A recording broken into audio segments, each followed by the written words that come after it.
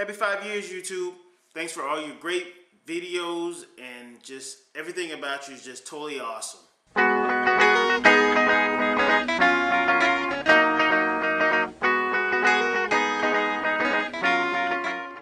Hva' Så Denmark, it's Tuesday.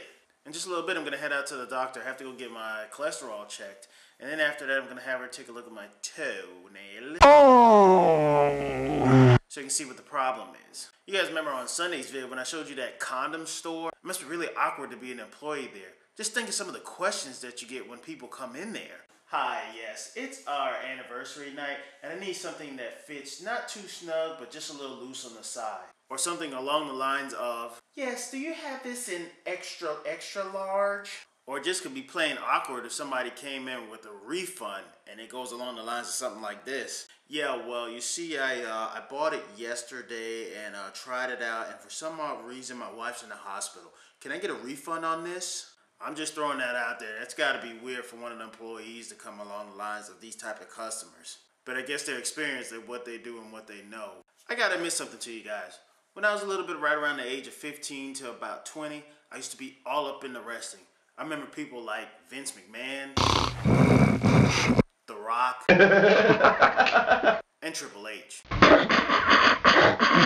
Now that I'm a little bit older and I'm breaking that 3-0 mark, every once in a while when I check it out on TV, I have to sit back and laugh just because of the soap opera like talk and some of the things that these guys do.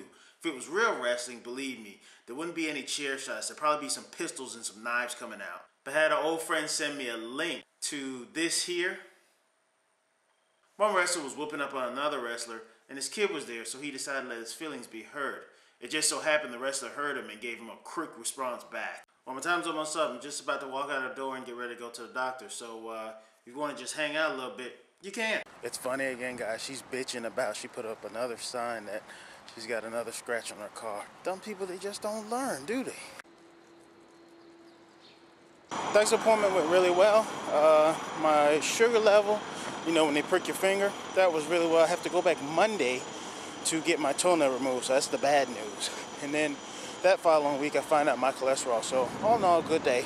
And I'm back from the doctor, so of course you know the good news, and of course you know the bad news. Uh, but I'm kind of scrambling right now to get ready to go out of the door, so I leave you with this little itty bitty vid right here. You can check this out when you get a chance. Click it. That one right there. I just want to say, why do people insist on screwing around with animals? This kid deserved what he got coming to you. I'm just going to leave it at that.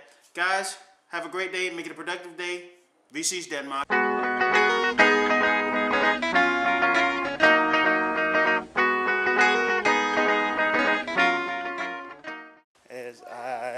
Had my toe looked at, it's going to be taken off Monday.